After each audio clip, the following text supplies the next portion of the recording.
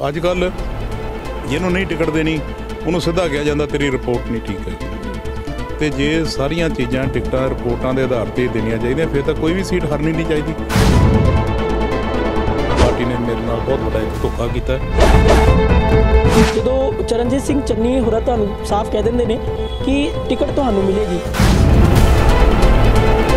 ਡਰ ਸੀਗਾ ਕਿ ਜੇਕਰ ਮਹਿੰਦਰ ਸਿੰਘ ਕੇਪੀ ਹੋਰਾਂ ਆਦਮਪੁਰ ਤੋਂ ਆਜ਼ਾਦ ਲੜਦੇ, ਤਾਂ ਕਾਂਗਰਸ ਨੂੰ ਕਾਫੀ ਭਾਰੀ ਨੁਕਸਾਨ ਸਹਿਣਾ ਪਊ। ਤੇ ਜੇ ਕਾਂਗਰਸ ਇਹ ਸਮਝ ਲਵੇ ਵੀ ਕੇਪੀ ਨੂੰ ਟਿਕਟ ਦੇ ਕੇ ਅਸੀਂ ਸੁੱਖ ਪਾਲਾਂਗੇ।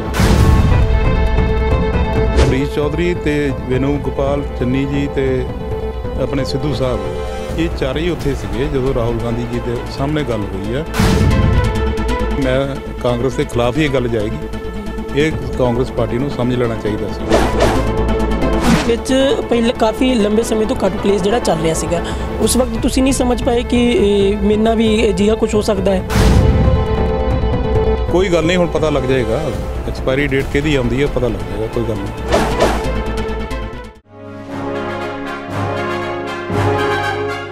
ਆਦਮਪੁਰ ਸੀਟ ਨੂੰ ਲੈ ਕੇ ਕਾਫੀ ਵਿਵਾਦ ਜਿਹੜਾ ਹੈ ਪੰਜਾਬ ਕਾਂਗਰਸ ਦੇ ਵਿੱਚ ਕਾਫੀ ਲੰਬੇ ਸਮੇਂ ਤੋਂ ਜਿਹੜਾ ਹੈ ਉਹ ਛਿੜਿਆ ਹੋਇਆ ਸੀਗਾ।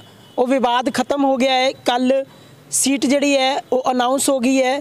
ਤਾਂ ਸਭ ਤੋਂ ਪਹਿਲਾਂ ਮਹਿੰਦਰ ਸਿੰਘ ਕੇਪੀ ਹੋਰਾਂ ਦੀ ਜਿਹੜੀ ਚਰਚਾ ਹੁੰਦੀ ਸੀਗੀ ਕਿ ਮਹਿੰਦਰ ਸਿੰਘ ਕੇਪੀ ਹੋਰਾਂ ਨੂੰ ਜਿਹੜੀ ਹੈ, ਉਹ ਟਿਕ, ਟਿਕਟ ਜਿਹੜੀ ਹੈ, ਪੰਜਾਬ ਲੋਕ ਕਾਂਗਰਸ ਦੀ ਆਦਮਪੁਰ ਤੋਂ ਜਿਹੜੀ ਹੈ, ਉਹ ਟਿਕਟ ਦਿੱਤੀ ਜਾਵੇਗੀ। ਜਦੋਂ ਚਰਨਜੀਤ ਸਿੰਘ ਚੰਨੀ ਆਉਂਦੇ ਨੇ ਆਦਮਪੁਰ ਦੇ ਵਿੱਚ ਲੋਕਾਂ ਨਾਲ ਸੰਵਾਦ ਕਰਦੇ ਨੇ, ਤਾਂ ਉਦੋਂ ਇਹਨਾਂ ਦਾ ਜਿਹੜਾ ਨਾਮ ਉਹ ਲਿਆ ਜਾਂਦਾ ਹੈ ਕਿ ਇਹਨਾਂ ਨੂੰ ਜਿਹੜੀ ਆਦਮਪੁਰ ਤੋਂ ਟਿਕਟ ਮਿਲ ਜਾਣੀ ਹੈ।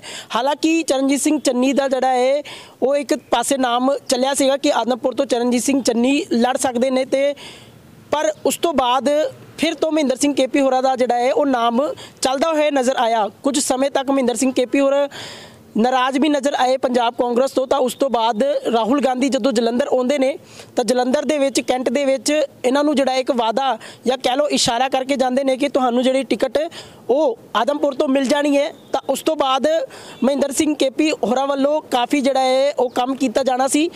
ਪਰ ਕੱਲ ਨੂੰ ਕੋਟਲੀ ਹੋਰਾਂ ਨੂੰ ਜਿਹੜੀ ਹੈ ਉਹ ਟਿਕਟ ਮਿਲ ਜਾਂਦੀ ਹੈ। ਟਿਕਟ ਮਹਿੰਦਰ ਸਿੰਘ ਕੇਪੀ ਦੀ ਕਿਵੇਂ ਕੱਟਦੇ ਨੇ, ਉਹ ਮਹਿੰਦਰ ਸਿੰਘ ਕੇਪੀ ਹੋਰਾਂ ਨਾਲ ਗੱਲਬਾਤ ਕਰਕੇ ਜਾਣਦੇ ਹਾਂ। ਸਰ ਕੱਲ ਅਜਿਹਾ ਕੀ ਹੋਇਆ ਕਿ ਤੁਹਾਡੀ ਟਿਕਟ ਜਿਹੜੀ ਹੈ ਕੱਟ ਦਿੱਤੀ ਗਈ? ਹਾਲਾਂਕਿ ਪਹਿਲਾਂ ਤੁਹਾਡੀ ਜਿਹੜੀਆਂ ਚਰਚਾਵਾਂ ਚੱਲਦੀਆਂ ਸਨ ਕਿ ਮਹਿੰਦਰ ਸਿੰਘ ਕੇਪੀ ਹੋਰਾਂ ਨੂੰ ਹੀ ਸਿੱਧੀ ਟਿਕਟ ਮਿਲੂਗੀ ਆਦਮਪੁਰ ਤੋਂ? ਨਹੀਂ ਦੇਖੋ ਟਿਕਟਾਂ ਜਿਹੜੀਆਂ ਪਾਰਟੀ ਆਪਣੀ ਮਰਜ਼ੀ ਦੇ ਨਾਲ ਟਿਕਟਾਂ ਟਿਕਟਾਂ ਦਿੰਦੀਆਂ। ਪਾਰਟੀ ਦੀ ਇੱਕ ਆਪਣੀ ਪ੍ਰਕਿਰਿਆ ਹੁੰਦੀ ਆ। ਜਿਹੜਾ ਬੰਦਾ ਉਸ ਪ੍ਰਕਿਰਿਆ ਦੇ ਵਿੱਚ ਫਿੱਟ ਆਉਂਦਾ ਉਹਨਾਂ ਨੂੰ ਉਹ ਟਿਕਟ ਦੇ ਦਿੰਦੇ ਆ। ਲੇਕਿਨ ਕਾਂਗਰਸ ਪਾਰਟੀ ਦਾ ਜਿਹੜਾ ਪ੍ਰਕਿਰਿਆ ਹੈ ਚੋਣ ਕਰਨ ਦੀ ਉਹ ਹੁਣ ਬਦਲ ਗਈ ਆ। ਜਿਸ ਜਿਸ ਦੌਰ ਦੇ ਵਿੱਚ ਅਸੀਂ ਪਾਰਟੀ ਨੂੰ ਲੀਡ ਕੀਤਾ ਜਾਂ ਜਿਸ ਦੌਰ ਦੇ ਵਿੱਚ ਸਾਡੇ ਪਿਤਾ ਜੀ ਪਾਰਟੀ ਦੇ ਵਿੱਚ ਰਹੇ ਆ ਉਸ ਵੇਲੇ ਕੰਸੈਂਸਸ ਹੁੰਦਾ ਸੀ ਸਾਰਿਆਂ ਨੂੰ ਬੁਲਾਇਆ ਜਾਂਦਾ ਸੀ ਗੱਲਬਾਤ ਕੀਤੀ ਜਾਂਦੀ ਸੀ ਤੇ ਫਿਰ ਟਿਕਟਾਂ ਦੀ ਜਿਹੜੀ ਆ ਤਕਸੀਮ ਹੁੰਦੀ ਸੀ। ਅੱਜ ਕੱਲ ਜਿਹਨੂੰ ਨਹੀਂ ਟਿਕਟ ਦੇਣੀ ਉਹਨੂੰ ਸਿੱਧਾ ਕਿਹਾ ਜਾਂਦਾ ਤੇਰੀ ਰਿਪੋਰਟ ਨਹੀਂ ਠੀਕ ਹੈਗੀ। ਤੇ ਜੇ ਸਾਰੀਆਂ ਚੀਜ਼ਾਂ ਟਿਕਟਾਂ ਰਿਪੋਰਟਾਂ ਦੇ ਆਧਾਰ ਤੇ ਦੇਣੀਆਂ ਚਾਹੀਦੀਆਂ ਫਿਰ ਤਾਂ ਕੋਈ ਵੀ ਸੀਟ ਹਰਨੀ ਨਹੀਂ ਚਾਹੀਦੀ। ਫਿਰ ਤਾਂ 117 ਦੀਆਂ 117 ਹੀ ਜਿੱਤਣੀਆਂ ਚਾਹੀਦੀਆਂ ਕਿਉਂਕਿ ਹਰ ਪਾਰਟੀ ਆਪਣਾ ਆਪਣਾ ਸਰਵੇ ਕਰਾਉਂਦੀ ਹੈ ਕਾਂਗਰਸ ਵਾਲੇ ਕਰਾਉਂਦੇ ਆ ਅਕਾਲੀ ਦਲ ਵਾਲੇ ਕਰਦੇ ਦੂਜੇ ਵੀ ਕਰਦੇ ਆ। ਤੇ ਜੇ ਰਿਪੋਰਟਾਂ ਦੇ ਨਾਲ ਚੱਲਣਾ ਇਹ ਮੈਂ ਸਮਝਦਾ ਕੋਈ ਪਾਰਟੀ ਦਾ ਪੈਮਾਨਾ ਨਹੀਂ ਆ। ਪਾਰਟੀ ਪੈਮਾਨਾ ਉਹ ਆ ਕਿ ਕਿੰਨੀ ਪਾਰਟੀ ਦੇ ਵਿੱਚ ਇਸ ਵਿਅਕਤੀ ਦੀ ਸੇਵਾ ਹੈ ਹੁਣ ਮੇਰਾ ਮਿਸਾਲ ਲੈ ਲਓ ਕਿ ਮੈਂ ਕਾਂਗਰਸ ਦੇ ਵਿੱਚ 1985 ਚ ਐਮਐਲਏ ਬਣਿਆ ਸੀ। ਮੇਰੇ ਫਾਦਰ 1967 ਚ ਐਮਐਲਏ ਬਣੇ ਸੀ। 1967 ਤੋਂ ਲੈ ਕੇ ਅੱਜ ਤੱਕ ਅਸੀਂ ਸਾਰੇ ਵਿਧਾਨ ਸਭਾ ਦੇ ਇਲੈਕਸ਼ਨ ਜਿਹੜੇ ਆ ਉਹ ਲੜੇ ਆ। ਪਹਿਲੀ ਵਾਰੀ ਹੋਇਆ ਕਿ ਜਿਹੜਾ ਵਿਧਾਨ ਸਭਾ ਦਾ ਇਲੈਕਸ਼ਨ ਪਾਰਟੀ ਨੇ ਸਾਨੂੰ ਟਿਕਟ ਨਹੀਂ ਦਿੱਤੀ। ਇਸ ਕਰਕੇ ਮੈਨੂੰ ਇਸ ਇਸ ਗੱਲ ਦਾ ਵੀ ਕੋਈ ਅਫਸੋਸ ਨਹੀਂ ਹੈ ਕਿਉਂਕਿ ਪਾਰਟੀਆਂ ਦਾ ਪ੍ਰੈਰੋਗੇਟਿਵ ਹੈ ਪਰ ਅਫਸੋਸ ਦੁੱਖ ਇਸ ਗੱਲ ਦਾ ਹੈ ਕਿ ਜੋ ਕੱਲ ਮੇਰੇ ਨਾਲ ਇਹਨਾਂ ਨੇ ਕੀਤਾ ਪਾਰਟੀ ਨੇ ਧੋਖਾ ਕੀਤਾ ਮੈਨੂੰ ਧੋਖੇ 'ਚ ਰੱਖਿਆ ਕਿ ਤੁਸੀਂ ਆਪਣੀ ਜਿਹੜੀ ਆ ਕਾਗਜ਼ ਜਿਹੜੇ ਤਿਆਰ ਰੱਖੋ ਤੇ ਲਾਸਟ ਮਿੰਟ ਤੇ ਮਿੰਟ ਤੇ ਆ ਕੇ ਜਿਹੜਾ ਮੇਰਾ ਟਿਕਟ ਜਿਹੜਾ ਹੈ ਉਹ ਮੈਨੂੰ ਨਹੀਂ ਦਿੱਤਾ ਗਿਆ। ਉਹ ਮੇਰੇ ਪਾਰਟੀ ਨੇ ਮੇਰੇ ਨਾਲ ਬਹੁਤ ਵੱਡਾ ਇੱਕ ਧੋਖਾ ਕੀਤਾ। ਔਰ ਇਹ ਧੋਖਾ ਜਿਹੜਾ ਹੈਗਾ ਲੋਕਲ ਇਕਾਈ ਨੇ ਜਾਣਬੁੱਝ ਕੇ ਕੀਤਾ। ਕਿਉਂਕਿ ਰਾਹੁਲ ਗਾਂਧੀ ਜਿਸ ਦਿਨ ਆਏ ਸੀ 27 ਤਰੀਕ ਨੂੰ ਉਹਨਾਂ ਨੇ ਮੈਨੂੰ ਭਰੋਸਾ ਦਿੱਤਾ ਸੀ ਕਿ ਤੁਹਾਨੂੰ ਆਦਮਪੁਰ ਤੋਂ ਅਸੀਂ ਲੜਾ ਰਹੇ ਹਾਂ। ਉਹਨਾਂ ਦੇ ਭਰੋਸੇ ਦੇ ਉੱਤੇ ਮੈਂ ਜਿਹੜਾ ਇਲੈਕਸ਼ਨ ਦੀ ਤਿਆਰੀ ਕਰ ਰਿਹਾ ਸੀਗਾ ਜਿੱਥੇ ਇਹਨਾਂ ਨੇ ਰਾਹੁਲ ਗਾਂਧੀ ਦਾ ਵੀ ਭਰੋਸਾ ਤੋੜਿਆ ਉੱਥੇ ਮੇਰੇ ਨਾਲ ਇਹਨਾਂ ਨੇ ਧੋਖਾ ਕੀਤਾ। ਕਿਵੇਂ ਦੇਖਦੇ ਹੋ? ਪਹਿਲਾਂ ਜਦੋਂ ਚਰਨਜੀਤ ਸਿੰਘ ਚੰਨੀ ਮੁੱਖ ਮੰਤਰੀ ਬਣਦੇ ਨੇ ਉਸ ਤੋਂ ਬਾਅਦ ਆਦਮਪੁਰ ਦੇ ਵਿੱਚ ਆਉਂਦੇ ਨੇ, ਲੋਕਾਂ ਨਾਲ ਸੰਵਾਦ ਕਰਦੇ ਨੇ। ਉਦੋਂ ਤੁਹਾਡੇ ਵੱਲੋਂ ਕਾਫੀ ਕਹਿ ਲਓ ਉਹਨਾਂ ਦੀ ਮਤਲਬ ਸਮਰਥਕ ਕੀਤਾ ਜਾਂਦਾ ਹੈ ਤੇ ਉਸ ਦੇ ਵਿੱਚ ਚਰਨਜੀਤ ਸਿੰਘ ਚੰਨੀ ਇੱਕ ਵਾਅਦਾ ਕਰਦੇ ਹੋਏ ਵੀ ਨਜ਼ਰ ਆਉਂਦੇ ਸਨ ਕਿ ਤੁਹਾਨੂੰ ਜਿਹੜੀ ਹੈ ਆਦਮਪੁਰ ਤੋਂ ਟਿਕਟ ਮਿਲਣੀ ਹੈ। ਹਾਲਾਂਕਿ ਕੁਝ ਸਮੇਂ ਪਹਿਲਾਂ ਚਰਨਜੀਤ ਸਿੰਘ ਚੰਨੀ ਦੀ ਜਿਹੜੀ ਅਫਵਾਹਾਂ ਉੱਡ ਰਹੀਆਂ ਸਨ ਕਿ ਚੰਨੀ ਹੀ ਮਤਲਬ ਸ਼ਾਇਦ ਦੋ ਸੀਟਾਂ ਤੋਂ ਲੜ ਸਕਦੇ ਨੇ ਚਮਕੌਰ ਸਾਹਿਬ ਤੇ ਦੂਜਾ ਆਦਮਪੁਰ। ਪਰ ਉਹ ਜਿਹੜੀ ਹੈ ਹਵਾ ਹਟ ਜਾਂਦੀ ਹੈ ਤੇ ਉਸ ਤੋਂ ਬਾਅਦ ਫਿਰ ਤੋਂ ਤੁਹਾਡਾ ਨਾਮ ਜਿਹੜਾ ਅੱਗੇ ਆਉਂਦਾ ਹੈ। ਤੇ ਉਸ ਤੋਂ ਬਾਅਦ ਕਿਵੇਂ ਦੇਖਦੇ ਹੋ ਜਦੋਂ ਚਰਨਜੀਤ ਸਿੰਘ ਚੰਨੀ ਹੋਰਾਂ ਤੁਹਾਨੂੰ ਸਾਫ਼ ਕਹਿ ਦਿੰਦੇ ਨੇ ਕਿ ਟਿਕਟ ਤੁਹਾਨੂੰ ਮਿਲੇਗੀ, ਪਰ ਹੁਣ ਕਿਹੋ ਜਿਹਾ ਲੱਗ ਰਿਹਾ ਹੈ? ਉਸ ਤੋਂ ਬਾਅਦ ਰਾਹੁਲ ਗਾਂਧੀ ਵੀ ਆਉਂਦੇ ਨੇ ਜਲੰਧਰ। ਰਾਹੁਲ ਗਾਂਧੀ ਵੀ ਕਹਿੰਦੇ ਨੇ ਕਿ ਇਸ਼ਾਰੇ ਇਸ਼ਾਰੇ ਵਿੱਚ ਤੁਹਾਨੂੰ ਟਿਕਟ ਦਾ ਜਿਹੜਾ ਇੱਕ ਦੱਸ ਦਿੰਦੇ ਨੇ ਕਿ ਤੁਹਾਨੂੰ ਟਿਕਟ ਜਿਹੜੀ ਹੈ ਉਹ ਮਿਲ ਜਾਣੀ ਹੈ। ਕਿਵੇਂ ਦੇਖਦੇ ਹੋ? ਇੱਕ ਫਰੇਬ ਕਰਕੇ ਜਿਹੜਾ ਹੈ ਤੁਹਾਡੇ ਤੋਂ ਟਿਕਟ ਖੋਇਆ ਗਿਆ ਹੈ। ਤੁਹਾਨੂੰ ਇੰਨਾ ਜਲੀਲ ਕਰਕੇ ਟਿਕਟ ਖੋਇਆ ਹੈ? ਕਿਵੇਂ ਦੇਖਦੇ ਹੋ ਉਸ ਨੂੰ? ਨਹੀਂ, ਇਹ ਗੱਲ ਤੁਹਾਡੀ ਬਿਲਕੁਲ ਠੀਕ ਹੈ ਕਿ ਜੋ ਮੇਰੇ ਨਾਲ ਵਾਅਦਾ ਕੀਤਾ ਸੀਗਾ, ਉਹ ਵਾਅਦਾ ਖਿਲਾਫੀ ਜਿਹੜੀ ਹੋਈ ਹੈ। ਔਰ ਰਾਹੁਲ ਗਾਂਧੀ ਨੇ ਮੇਰੇ ਮੇਰੀ ਗੱਲ ਸੁਣ ਕੇ ਮੈਨੂੰ ਉਹਨਾਂ ਨੇ ਇਸ ਗੱਲ ਦਾ ਭਰੋਸਾ ਦਿੱਤਾ ਸੀ। ਉਹਨਾਂ ਦਾ ਭਰੋਸਾ ਵੀ ਇਹਨਾਂ ਨੇ ਲੋਕਲ ਇਕਾਈ ਨੇ, ਸਾਡੀ ਨੇ ਤੋੜਿਆ ਤੇ ਮੇਰੇ ਨਾਲ ਇਹਨਾਂ ਨੇ ਧੋਖਾ ਕੀਤਾ ਔਰ ਮੈਨੂੰ ਇੱਥੇ ਇਸ ਤਰੀਕੇ ਦੇ ਨਾਲ ਚੱਕਰ ਵੀ ਬਣਾ ਰੱਖਿਆ ਕਿ ਮੈਂ ਆਪਣੇ ਪੇਪਰ ਫਾਈਲ ਨਾ ਕਰ ਸਕਾਂ ਸਮੇਂ ਸਿਰ। ਔਰ ਮੇਰੀ ਜਿਹੜਾ ਇਲੈਕਸ਼ਨ ਲੜਨ ਦਾ ਜਿਹੜਾ ਮੈਨੂੰ ਅਧਿਕਾਰ ਹੈ, ਉਸ ਤੋਂ ਵੀ ਇਹਨਾਂ ਨੇ ਮੈਨੂੰ ਵੰਚਿਤ ਰੱਖਿਆ। ਕਿ ਕਾਂਗਰਸ ਨੂੰ ਡਰ ਸੀਗਾ ਕਿ ਜੇਕਰ ਮਹਿੰਦਰ ਸਿੰਘ ਕੇਪੀ ਹੋਰਾ ਆਦਮਪੁਰ ਤੋਂ ਆਜ਼ਾਦ ਲੜਦੇ ਤਾਂ ਕਾਂਗਰਸ ਨੂੰ ਕਾਫੀ ਭਾਰੀ ਨੁਕਸਾਨ ਸਹਿਣਾ ਪੈਣਾ। ਚਲੋ, ਇਹ ਤਾਂ ਮੈਂ ਨਹੀਂ ਕਹਿੰਦਾ ਕਿ ਮੈਂ ਕੋਈ ਬਹੁਤ ਵੱਡੀ ਕੋਈ ਤੋਪ ਆ ਲੇਕਿਨ ਮੈਨੂੰ ਆਪਣੇ ਲੋਕਾਂ ਤੇ ਭਰੋਸਾ ਹੈ। ਜਿਹੜੇ ਮੇਰੇ ਸਮਾਜ ਦੇ ਲੋਕ ਆ, ਮੇਰੇ ਇਲਾਕੇ ਦੇ ਲੋਕ ਆ, ਉਹ ਮੈਨੂੰ ਪਿਆਰ ਕਰਦੇ ਆ। ਮੈਂ ਹੀ ਪੁੱਛਦਰ ਪੁੱਛ ਲੋਕਾਂ ਦੀ ਸੇਵਾ ਕਰਦੇ ਆ ਸਮਾਜ ਦੀ ਸੇਵਾ ਕਰਦੇ ਆ ਕੱਲਾ ਰਾਜਨੀਤੀ ਨਹੀਂ ਕਰਦੇ, ਰਾਜਨੀਤੀ ਤੋਂ ਇਲਾਵਾ ਅਸੀਂ ਸਮਾਜ ਦੀ ਸੇਵਾ ਵੀ ਕਰਦੇ ਆ ਹਰ ਬੰਦੇ ਨੂੰ ਕੋਈ ਸਮੱਸਿਆ ਆਉਂਦੀ ਹੈ ਤੇ ਉਹ ਸਾਡੇ ਕੋਲ ਆਣ ਕੇ ਰਾਏ ਲੈਂਦਾ, ਅਸੀਂ ਉਹਨਾਂ ਨੂੰ ਪ੍ਰੋਪਰ ਰਾਏ ਦੇਈਦੀ ਆ ਜਿਹੜਾ ਕੰਮ ਲੋਕਾਂ ਦਾ ਕਰਨ ਹੋਣ ਵਾਲਾ ਹੁੰਦਾ, ਉਹਨਾਂ ਨੂੰ ਕਹਿ ਦਿਆ ਭਾਈ ਇਹ ਤੇਰਾ ਕੰਮ ਹੋ ਜਾਏਗਾ। ਜਿਹੜਾ ਨਹੀਂ ਹੋਣ ਵਾਲਾ, ਉਹਨੂੰ ਵੀ ਜਵਾਬ ਦੇ ਦਿਆ, ਇਹਦਾ ਕੰਮ ਇਸ ਕਰਕੇ ਨਹੀਂ ਹੋ ਸਕਦਾ ਕਿਉਂਕਿ ਇਹਦੇ ਵਿੱਚ ਆ ਕਾਨੂੰਨੀ ਅੜਚਨ ਆ। ਤੋ ਇਸ ਕਰਕੇ ਲੋਕਾਂ ਦਾ ਸਾਡੇ ਤੇ ਭਰੋਸਾ ਬਣਿਆ ਹੈ ਅਸੀਂ ਲੋਕਾਂ ਦੇ ਭਰੋਸੇ ਆ। ਲੋਕ ਅੱਜ ਕੱਲ ਅੱਜ ਮੇਰੇ ਨਾਲ ਬੜੀ ਵੱਡੀ ਗਿਣਤੀ ਦੇ ਵਿੱਚ ਖੜੇ ਆ। ਤੇ ਜੇ ਕਾਂਗਰਸ ਇਹ ਸਮਝ ਲਵੇ ਵੀ ਕੇਪੀ ਨੂੰ ਟਿਕਟ ਦੇ ਕੇ ਅਸੀਂ ਸੁੱਖ ਪਾ ਲਾਂਗੇ ਇੱਕ ਨੂੰ ਦੁੱਖ ਦਿੱਤਿਆਂ ਦੂਜਾ ਸੁੱਖ ਨਹੀਂ ਪਾ ਸਕਦਾ।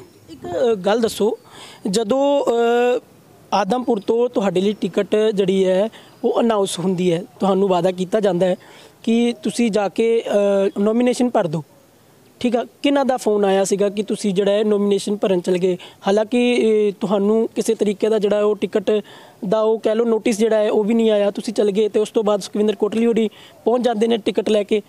ਨਹੀਂ ਮੈਨੂੰ ਮੇਰੇ ਸਾਡਾ ਜਿਹੜਾ ਪ੍ਰਭਾਰੀ ਹੈ ਹਰੀਸ਼ ਚੌਧਰੀ ਉਹਨਾਂ ਨੇ ਦੋ ਦਿਨ ਪਹਿਲਾਂ ਮੈਨੂੰ ਟੈਲੀਫੋਨ ਕੀਤਾ ਕਿ ਤੁਸੀਂ ਕਿਉਂਕਿ ਹਰੀਸ਼ ਚੌਧਰੀ ਤੇ ਵੇਨੂ ਗੋਪਾਲ ਚੰਨੀ ਜੀ ਤੇ ਆਪਣੇ ਸਿੱਧੂ ਸਾਹਿਬ ਇਹ ਚਾਰੇ ਹੀ ਉੱਥੇ ਸੀਗੇ ਜਦੋਂ ਰਾਹੁਲ ਗਾਂਧੀ ਜੀ ਦੇ ਸਾਹਮਣੇ ਗੱਲ ਹੋਈ ਹੈ।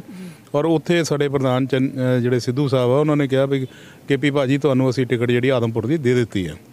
ਤੇ ਉਹਨਾਂ ਨੇ ਇੱਕ ਭਰੋਸਾ ਜਿਹੜਾ ਜਿਹੜਾ ਦਿੱਤਾ ਸੀ ਰਾਹੁਲ ਗਾਂਧੀ ਜੀ ਨੂੰ ਉਹ ਭਰੋਸਾ ਜਿਹੜਾ ਮੈਂ ਹੁਣ ਸਮਝਦਾ ਮੈਂ ਕੀ ਕਹਿ ਸਕਦਾ ਭਰੋਸਾ ਜਿਹੜਾ ਉਹਨਾਂ ਨੇ ਤੋੜਿਆ ਤੇ ਜਿਹੜੀ ਇਹਨਾਂ ਨੇ ਸਾਡੇ ਨਾਲ ਛੜਯੰਤਰ ਕਰਕੇ ਮੇਰੇ ਨਾਲ ਧੋਖਾ ਦਿੱਤਾ। ਜਲੀਲ ਤਾਂ ਨਹੀਂ ਕਰਨਾ ਚਾਹੀਦਾ ਸੀ ਚਲੋ ਮੈਂ ਇਹਨੂੰ ਜਲੀਲ ਵੀ ਨਹੀਂ ਕਹਿੰਦਾ ਧੋਖਾ ਜਿਹਾ ਜ਼ਰੂਰ ਦਿੱਤਾ। ਤੇ ਕਿਵੇਂ ਦੇਖਦੇ ਹੋ? ਆਉਣ ਵਾਲੀਆਂ ਵਿਧਾਨ ਸਭਾ ਚੋਣਾਂ ਬਹੁਤ ਇੰਟਰਸਟਿੰਗ ਨੇ। ਮਹਿੰਦਰ ਸਿੰਘ ਕੇਪੀ ਹੋਰਾਂ ਦਾ ਕਾਫੀ ਵੱਡਾ ਫੇਸ ਹੈ ਕਾਫੀ ਪੁਰਾਣੇ ਲੀਡਰ ਨੇ। ਕਾਫੀ ਲੰਬੇ ਸਮੇਂ ਤੋਂ ਤੁਸੀਂ ਲੜ ਰਹੇ ਹੋ ਤੇ ਤੁਹਾਡੀ ਫੈਮਿਲੀ ਬੈਕਗ੍ਰਾਉਂਡ ਵੀ ਇਸੇ ਕਾਂਗਰਸ ਨੂੰ ਸਪੋਰਟ ਕਰਦੀ ਹੋਈ ਨਜ਼ਰ ਆ ਰਹੀ ਹੈ। ਕਿ ਤੁਸੀਂ ਜੇਕਰ ਤੁਹਾਨੂੰ ਕੋਈ ਪਦ ਕਾਂਗਰਸ ਦਿੰਦਾ ਹੈ, ਤੁਹਾਨੂੰ ਸੀਟ ਨਹੀਂ ਮਿਲੀ, ਕੋਈ ਗੱਲ ਨਹੀਂ, ਜੇਕਰ ਕੋਈ ਪਦ ਦਿੰਦਾ ਹੈ ਤੁਹਾਨੂੰ, ਕਿ ਨਹੀਂ ਤੁਸੀਂ ਇਸ ਪਦ ਤੇ ਰਹੋ ਤੇ ਸਾਡੇ ਲਈ ਪ੍ਰਚਾਰ ਕਰੋ, ਕਿ ਪ੍ਰਚਾਰ ਹੋਵੇਗਾ? ਮੈਂ ਤਾਂ ਕਈ ਸਾਲਾਂ ਤੋਂ ਕੋਈ ਪਦ ਨਹੀਂ ਲਿਆ। ਆ ਠੀਕ ਹੈ, ਜਦੋਂ ਪਿਛਲੀ ਵਾਰੀ ਕੈਪਟਨ ਸਾਹਿਬ ਨੇ ਇੱਥੇ ਆਏ ਸੀਗੇ, ਤੇ ਉਹਨਾਂ ਨੂੰ ਮੈਨੂੰ ਚੇ- ਮੈਨੂੰ ਜਿਹੜਾ ਹੈਗਾ ਟੈਕਨੀਕਲ ਐਜੂਕੇਸ਼ਨ ਬੋਰਡ ਦਾ ਚੇਅਰਮੈਨ ਲਾਇਆ ਸੀ। ਲੇਕਿਨ ਗੱਲ ਇਹ ਆ ਕਿ ਅਸੀਂ ਕੋਈ ਪਦ ਨਾਲ ਵਜੇ ਨਹੀਂ, ਅਸੀਂ ਤਾਂ ਸਮਾਜ ਨਾਲ ਵੱਜੇ ਆ ਲੋਕਾਂ ਨਾਲ ਵੱਜੇ ਆ ਲੋਕਾਂ ਦੀਆਂ ਸਮੱਸਿਆਵਾਂ ਸੁਣਦੇ ਆ ਲੋਕਾਂ ਦੀਆਂ ਸਮੱਸਿਆਵਾਂ ਦਾ ਸਮਾਧਾਨ ਕਰਨ ਦੀ ਅਸੀਂ ਕੋਸ਼ਿਸ਼ ਜਿਹੜੀ ਆ ਉਹ ਕਰਦੇ ਆ ਇਸ ਕਰਕੇ ਪਰਿਵਾਰਕ ਔਰ ਸਮਾਜਿਕ ਤੌਰ ਦੇ ਉੱਤੇ ਅਸੀਂ ਲੋਕਾਂ ਦੇ ਨਾਲ ਜੁੜੇ ਹੋਏ ਆ ਜਲੰਧਰ ਦੇ ਵਿੱਚ ਘਰ ਘਰ ਦੇ ਵਿੱਚ ਕੇਪੀ ਪਰਿਵਾਰ ਦਾ ਕੇਪੀ ਦਾ ਨਾਂ ਚੱਲਦਾ ਹੈ। ਤੇ ਮੈਂ ਇਹੀ ਸਮਝਦਾ ਕਿ ਜੇ ਉਹ ਲੋਕ ਜਿਹੜੇ ਹਮਦਰਦ ਆ ਜਿਹੜੇ ਮੇਰੇ ਵੱਡੀ ਗਿਣਤੀ 'ਚ ਮੇਰੇ ਨਾਲ ਖੜੇ ਆ ਤੇ ਜੇ ਉਹ ਲੋਕੀ ਮੇਰੇ ਨਾਲ ਹਮਦਰਦੀ ਕਰਦੇ ਆ ਤੇ ਉਹ ਫਿਰ ਮੈਂ ਕਾਂਗਰਸ ਦੇ ਖਿਲਾਫ ਹੀ ਇਹ ਗੱਲ ਜਾਏਗੀ। ਜੀ। ਇਹ ਕਾਂਗਰਸ ਪਾਰਟੀ ਨੂੰ ਸਮਝ ਲੈਣਾ ਚਾਹੀਦਾ ਸੀ। ਤੁਸੀਂ ਕਿਵੇਂ ਦੇਖਦੇ ਹੋ? ਜੇਕਰ ਕਿਸੇ ਤਰੀਕੇ ਦਾ ਵੀ ਤੁਹਾਡੇ ਨਾਲ ਮਤਲਬ ਹੁਣ ਕਹਿ ਲਓ ਗੱਲਬਾਤ ਨਹੀਂ ਹੁੰਦੀ ਹਾਲਾਂਕਿ ਤੁਹਾਡੇ ਫੋਨ ਚੱਕ ਰਹੇ ਨੇ? ਨਹੀਂ ਮੈਂ ਤਾਂ ਮੈਂ ਕਦ ਲਈ ਕਰਨਾ ਕਿਸੇ ਨੂੰ ਫੋਨ? ਮੈਨੂੰ ਤਾਂ ਹੁਣ ਕੋਈ ਲੋੜ ਨਹੀਂ ਹੈਗੀ। ਉਹਨਾਂ ਨੂੰ ਮੇਰੀ ਲੋੜ ਹੋਏਗੀ ਤਾਂ ਮੈਨੂੰ ਕਰ ਲੈਣਗੇ। ਮੈਨੂੰ ਉਹਨਾਂ ਲੋਕਾਂ ਦੀ ਕੋਈ ਲੋੜ ਨਹੀਂ ਹੈਗੀ। ਮੈਂ ਤਾਂ ਆਪਣਾ ਇੱਕ ਸਮਾਜ ਦੇ ਵਿੱਚ ਵਿਚਰਨ ਵਾਲਾ ਬੰਦਾ ਹਾਂ। ਮੈਨੂੰ ਕਿਸੇ ਦੀ ਮਰਸੀ ਦੀ ਲੋੜ ਨਹੀਂ ਹੈਗੀ। ਮੈਂ ਆਜ਼ਾਦ ਖਿਆਲ ਦਾ ਬੰਦਾ ਹਾਂ। ਮੈਂ ਪਾਰਟੀ ਨਾਲ ਜਾਬਤੇ 'ਚ ਵੱਜਾ ਰਿਹਾ ਮੈਂ ਕਦੇ ਵੀ ਪਾਰਟੀ ਦੇ ਜਾਬਤੇ ਤੋਂ ਲੰਘਣਾ ਨਹੀਂ ਕੀਤੀ। ਗੱਲ ਵੱਡੀ ਹੈ ਇੱਕ ਕਿ ਰਾਹੁਲ ਗਾਂਧੀ ਆਂਦੇ ਨੇ ਜਲੰਧਰ ਵਿੱਚ ਤੇ ਤੁਹਾਡਾ ਨਾਂ ਲੈ ਲੈਂਦੇ ਨੇ ਕਿ ਤੁਹਾਨੂੰ ਜਿਹੜੀ ਟਿਕਟ ਮਿਲ ਜਾਊਗੀ। ਚਾਹੇ ਉਹ ਇਸ਼- ਇਸ਼ਾਰਾ ਕੀਤਾ ਹੋਵੇ ਜਾਂ ਕੁਝ ਵੀ ਹੋਵੇ ਤਾਂ ਰਾਹੁਲ ਗਾਂਧੀ ਹੋਰਾਂ ਦੀ ਜਿਹੜੀ ਹੈ ਗੱਲ ਕਿਵੇਂ ਮੋੜ ਦਿੱਤੀ ਗਈ? ਕਿ ਰਾਹੁਲ ਗਾਂਧੀ ਵੀ ਵਿੱਚ ਨੇ? ਮੈਨੂੰ ਇਸੇ ਗੱਲ ਦੀ ਹੈਰਾਨੀ ਹੁੰਦੀ ਆ ਕਿ ਮੈਨੂੰ ਰਾਹੁਲ ਗਾਂਧੀ ਜੀ ਨੇ ਭਰੋਸਾ ਦਿੱਤਾ ਇਹਨਾਂ ਨੇ ਉਸ ਭਰੋਸੇ ਨੂੰ ਤੋੜਿਆ। ਹੁਣ ਮੈਂ ਰਾਹੁਲ ਗਾਂਧੀ ਜੀ ਨੂੰ ਮਿਲਾਂਗਾ ਮਿਲ ਕੇ ਉਹਨਾਂ ਨੂੰ ਦੱਸਾਂਗਾ ਕਿ ਜਿਹੜੀ ਤੁਸੀਂ ਮੇਰੇ ਨਾਲ ਵਾਅਦਾ ਕੀਤਾ ਸੀਗਾ ਜਾਂ। ਭਰੋਸਾ ਮੈਨੂੰ ਦਿੱਤਾ ਸੀਗਾ ਉਹ ਭਰੋਸੇ ਦੇ ਉੱਤੇ ਜਿਹੜੀ ਤੁਹਾਡੀ ਇਕਾਈ ਜਿਹੜੀ ਆ ਉਹ ਉਹਨਾਂ ਨੇ ਇਗਨੋਰ ਕੀਤਾ ਤੁਹਾਡੇ ਭਰੋਸੇ ਨੂੰ। ਪੰਜਾਬ ਲੋਕ ਕਾਂਗਰਸ ਜਦੋਂ ਜਦੋਂ ਵੀ ਗਿਣਿਆ ਜਾਂਦਾ ਹੈ ਤੁਹਾਡਾ ਨਾਮ ਸਭ ਤੋਂ ਪਹਿਲਾਂ ਹੁੰਦਾ ਹੈ।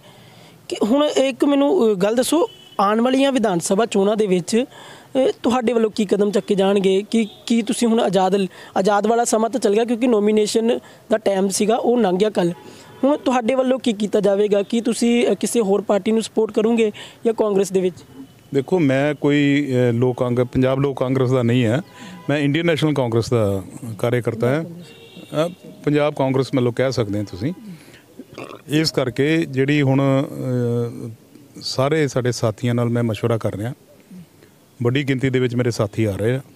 ਜਿੱਦਾਂ ਮੇਰੇ ਸਾਥੀ ਕਹਿਣਗੇ ਉਦਾਂ ਹੀ ਕਰਾਂਗਾ ਜਿੱਦਾਂ ਮੇਰਾ ਪਰਿਵਾਰ ਕਹੇਗਾ ਕਿਉਂਕਿ ਇਸ ਵੇਲੇ ਜੋ ਪ੍ਰੈਸ਼ਰ ਹੈ ਉਹ ਇਹੀ ਆ ਕਿ ਜਿਸ ਪਾਰਟੀ ਨੇ ਤੁਹਾਡੇ ਨਾਲ ਧੋਖਾ ਕੀਤਾ ਜਿਹੜਾ ਬੰਦਿਆਂ ਨੇ ਧੋਖਾ ਕੀਤਾ ਕਰਵਾਇਆ ਗਿਆ ਪਾਰਟੀ ਤੋਂ ਉਹਨਾਂ ਨੂੰ ਜ਼ਰੂਰ ਅਸੀਂ ਜਿਹੜਾ ਹੈਗਾ ਸਬਕ ਜਿਹੜਾ ਸਿਖਾਉਣ ਦਾ ਸਿਖਾਵਾਂਗੇ। ਕਾਂਗਰਸ ਦੇ ਵਿੱਚ ਪਹਿਲੇ ਕਾਫੀ ਲੰਬੇ ਸਮੇਂ ਤੋਂ ਕਾਟੂ ਕਲੇਸ਼ ਜਿਹੜਾ ਚੱਲ ਰਿਹਾ ਸੀਗਾ।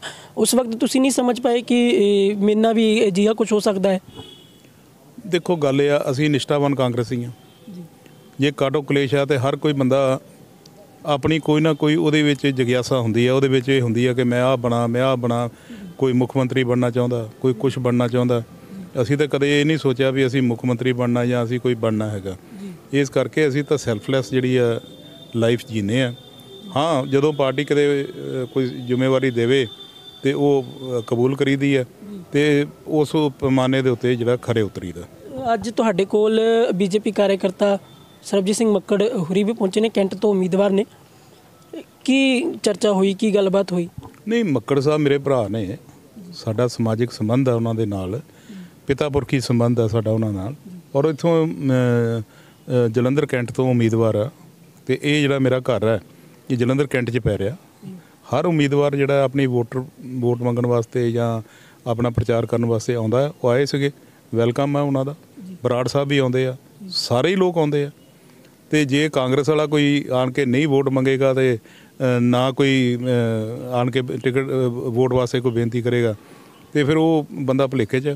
ਕੁਝ ਕਾਂਗਰਸੀ ਆਗੂ ਕਹਿੰਦੇ ਨੇ ਕਿ ਅ, ਮਹਿੰਦਰ ਸਿੰਘ ਕੇਪੀ ਹੋਰਾਂ ਦੇ ਜਿਹੜਾ ਕਹਿ ਲਓ ਇੱਕ ਐਕਸਪਾਇਰੀ ਡੇਟ ਆ ਗਿਆ ਹੈ ਉਸ ਨੂੰ ਹੁਣ ਮਤਲਬ ਬਿਠਾ ਦੇਣਾ ਚਾਹੀਦਾ ਹੈ ਕੋਈ ਗੱਲ ਨਹੀਂ ਹੁਣ ਪਤਾ ਲੱਗ ਜਾਏਗਾ ਐਕਸਪਾਇਰੀ ਡੇਟ ਕਿਹਦੀ ਆਉਂਦੀ ਹੈ ਪਤਾ ਲੱਗ ਜਾਏਗਾ ਕੋਈ ਗੱਲ ਨਹੀਂ ਕਿ ਤੁਸੀਂ ਹੁਣ ਅ, ਕਿਸੇ ਪਾਰਟੀ ਵਿੱਚ ਜਾਣ ਦਾ ਤੁਹਾਡਾ ਮੂਡ ਹੈ ਨਹੀਂ ਮੈਂ ਹਲੇ ਕਿਸੇ ਕਿਤੇ ਨਹੀਂ ਜਾ ਰਿਹਾ ਮੈਂ ਤੁਹਾਨੂੰ ਕਈ ਵਾਰੀ ਕਿਹਾ ਕਿ ਮੈਂ ਆਪਣੇ ਸਾਥੀਆਂ ਨਾਲ ਸਲਾਹ ਕਰ ਰਿਹਾ ਜੋ ਸਾਥੀਆਂ ਦੀ رائے ਹੋਗੀ ਉਹਦੇ ਹਿਸਾਬ ਨਾਲ ਕਰਾਂਗੇ ਬਹੁਤ ਬਹੁਤ ਧੰਨਵਾਦ ਤਾਂ ਇਹ ਸਨ ਮਹਿੰਦਰ ਸਿੰਘ ਕੇਪੀ ਹੋਰਾਂ ਨਾਲ ਗੱਲਬਾਤ ਕੀਤੀ ਹੈ ਤਾਂ ਉਹਨਾਂ ਦਾ ਸਾਫ਼-ਸਾਫ਼ ਕਹਿ ਦੇਣਾ ਹੈ ਕਿ ਆਉਣ ਵਾਲੀਆਂ ਵਿਧਾਨ ਸਭਾ ਚੋਣਾਂ ਦੇ ਵਿੱਚ ਉਹ ਬਹੁਤ ਕੁਝ ਕਰ ਸਕਦੇ ਸਨ, ਕਰਨਾ ਵੀ ਚਾਹੁੰਦੇ ਸਨ, ਪਰ ਕੁਝ ਜਿਹੜੀਆਂ ਦਿੱਕਤਾਂ ਦਾ ਸਾਹਮਣਾ ਕਰਨਾ ਪੈ ਗਿਆ ਹੈ। ਤੇ ਉਹਨਾਂ ਦਾ ਵੀ ਇਹ ਕਹਿ ਦੇਣਾ ਹੈ ਕਿ ਆਉਣ ਵਾਲੀਆਂ ਵਿਧਾਨ ਸਭਾ ਚੋਣਾਂ ਦੇ ਵਿੱਚ ਜੋ ਉਹਨਾਂ ਦੀ ਹਲਚਲ ਹੋਵੇਗੀ, ਉਹ ਆਪਣੇ ਸਹੀ ਬੰਦੀ ਜਿਹੜੇ ਹੈਗੇ ਆ ਜਾਂ ਫਿਰ ਮਿੱਤਰ ਨੇ, ਉਹਨਾਂ ਦੇ ਨਾਲ ਗੱਲਬਾਤ ਕਰਕੇ ਸਾਰਾ ਕੁਝ ਜਿਹੜਾ ਹੈ ਉਹ ਦੱਸਣਗੇ। ਕੈਮਰਾਮੈਨ ਅਮਨ ਦੇ ਨਾਲ ਰਾਜੂ ਗੁਪਤਾ, ਲੋਕਨਾਥ ਟੀਵੀ, ਜਲੰਧਰ।